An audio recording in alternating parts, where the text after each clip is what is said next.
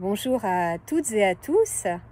Vous avez pu euh, suivre jeudi dernier la présentation du mythe de Psyché sous son aspect symbolique par euh, Annie Alpino. Peut-être avez-vous constaté euh, combien Psyché nous ressemble. Alors un petit rappel, qu'est-ce qu'un mythe?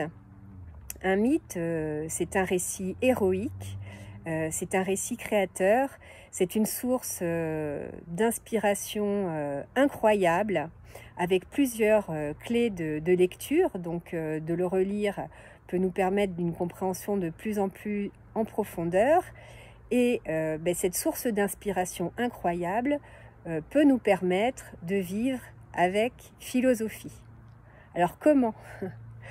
Parce que en nous reliant au mythe, en nous identifiant à un héros ou une héroïne, euh, nous pouvons euh, décider de vivre les vertus qu'il incarne, qu'il ou elle incarne. Donc ça peut être le courage, ça peut être la patience, ça peut être l'abnégation, euh, ça peut être la fraternité. Et toutes ces vertus, comme nous sommes reliés au mythe, nous y pensons et le but, ben, c'est de les vivre un maximum pendant la journée. Donc c'est l'exercice spirituel que je vous propose, celui de choisir euh, ben, un mythe avec une figure héroïque et de vivre ses vertus pendant une semaine.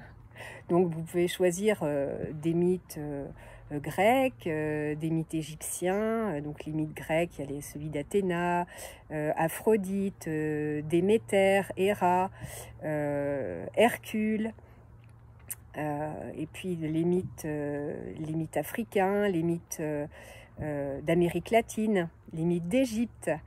Voilà, donc bah, écoutez, je, laisse, vous laisse choisir ceux que vous souhaitez pour ceux qui, euh, souhaiteraient des recommandations de livres, alors ça c'est plus pour euh, les mythes euh, grecs. Il y a le livre de Mario Meunier et puis celui de Jean-Pierre Vernant. Voilà. Mais écoutez, je vous souhaite vraiment une excellente semaine, une très belle expérience. Et puis n'hésitez pas si vous avez des, retours. Et puis n'hésitez pas aussi à nous poser des questions. Voilà, merci beaucoup. Au revoir.